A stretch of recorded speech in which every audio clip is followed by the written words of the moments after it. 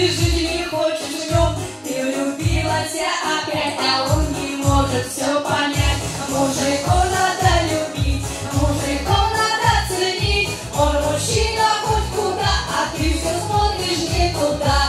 Мужиков